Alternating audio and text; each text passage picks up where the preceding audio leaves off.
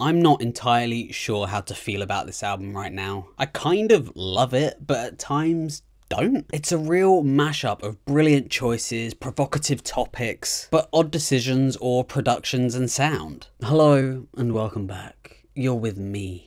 Icy Snaps. Tyler the Creator, rapper, producer, fashion designer, and probably way, way more. If you are watching this, you probably know way more than I do on him anyway. This is his first album in three years, I believe, making a total of seven studio albums. Tyler initially found attention as a founding member of the alternative hip hop group Odd Future. That is until his first debut album, Goblin in 2011, which kind of gained him like a bit of a cult following. Over the years, Tyler's sound and style has evolved into something more refined, blending hip hop, soul, jazz, R&B, you name it. Albums like Flower Boy in 2017 or Igor in 2019 demonstrated his growth musically and personally, with Igor even winning him a Grammy. And then of course the album Call Me If You Get Lost, that once again shows Tyler maturing with a fun album that goes in a lot of quirky directions I would say. So here we are with Chromakopia. The theme and title seem slightly vague, even up for debate. As far as I know, Chromakopia is a made up word by Tyler, but we can assume chroma refers to the purity of colour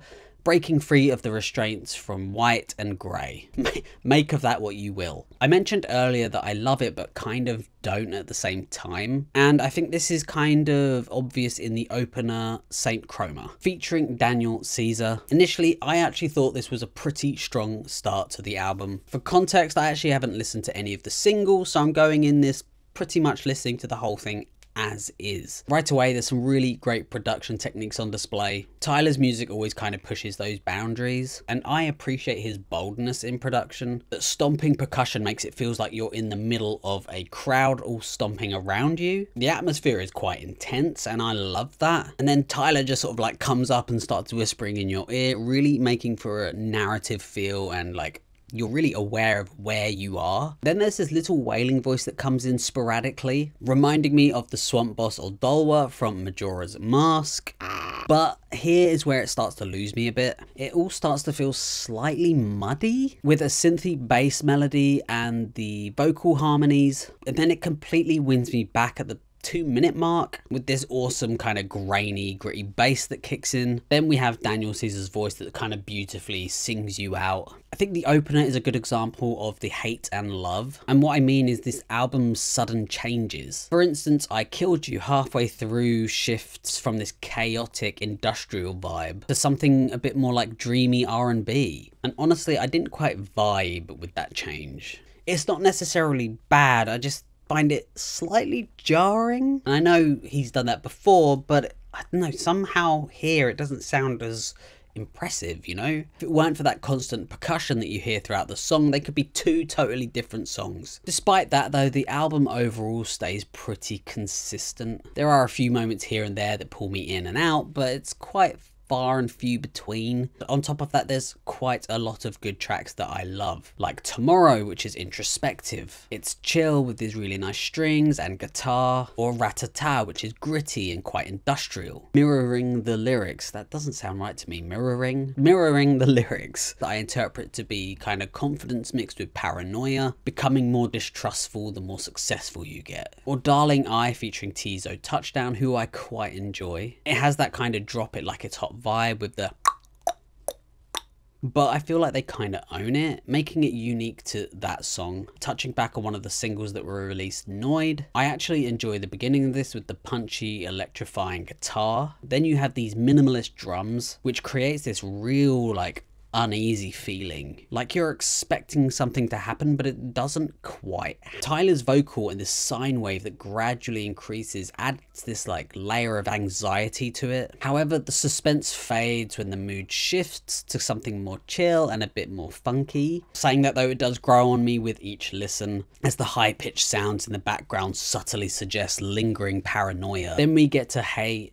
Jane, which feels kinda honest. Lyrics about having a kid, not being ready at all, the selfish pull of wanting to keep your freedom of a child free life. Instrumentally, though, I found it slightly underwhelming. Apart from the abrupt snare roll that kind of jolted me awake, compared to other tracks, it lacks that same impact as something like Judge Judy. There's this detuned synth melody, steel guitar strums, and as the song goes on, it becomes even more sonically pleasing. The instrument's timbres feel dynamic and really, really wide, and this sweet arpeggiator that plays near the end blends beautifully with the synths and like vocal textures, reaching the album's last half with Sticky, featuring GloRilla, Sexyy Red, and Lil Wayne. It sounds pretty decent overall, actually. The mix, though, for me is slightly muddled in parts, especially in the high and mid ranges. Following this with Take Your Mask Off, again featuring Daniel Caesar and Latoya Williams, it feels more intimate and a little laid back with these subtle pulsating keys and lo-fi beats. Daniel Caesar's voice provides a bit of a striking contrast to Tyler's, which kind of fits well with the lyrics about societal masks. Whether you're with friends, work, school, whatever, even with sexuality and identity, feeling like you have to hide or pretend. In the second half, most of the features stand out in their own unique way. Thought I Was Dead featuring Schoolboy Q and Santigold,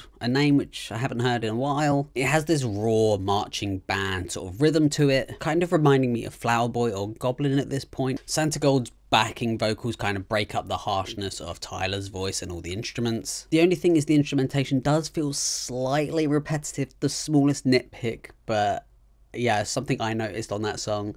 And I don't know, it stands out weirdly more for me. Don't know why. In contrast, though, we have Balloon featuring Doechii. It has this weird, sweet, nostalgic sound to it, like an 80s infomercial or something. Doechii's vocals here really, really suit this aesthetic, and I think they work really well. As we approach the final track, we have Like Him featuring Lola Young. I enjoyed her latest album and I reviewed it, so check out if you want, but it is really nice to hear her here on this album. The production starts minimally, seemingly building up as Tyler's own emotions seem to intensify intensify.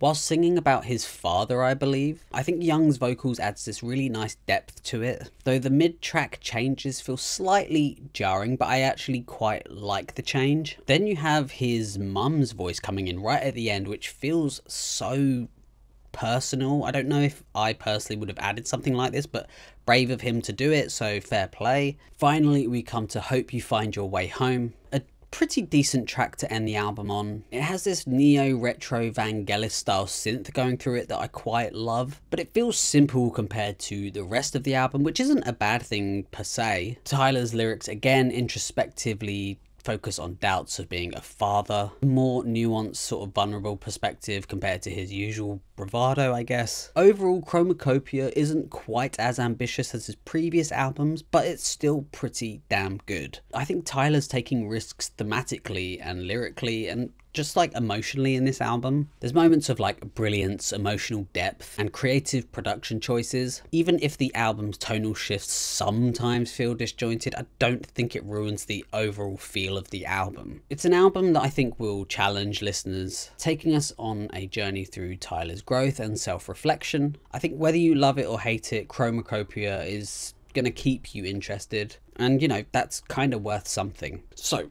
all in all, I think I would give this album an 8 out of 10. Thank you so much for watching. I hope you enjoyed my review. Feel free to leave a comment, subscribe, whatever you like. And yeah, again, thank you so much for watching and hopefully catch you on the next one. Goodbye.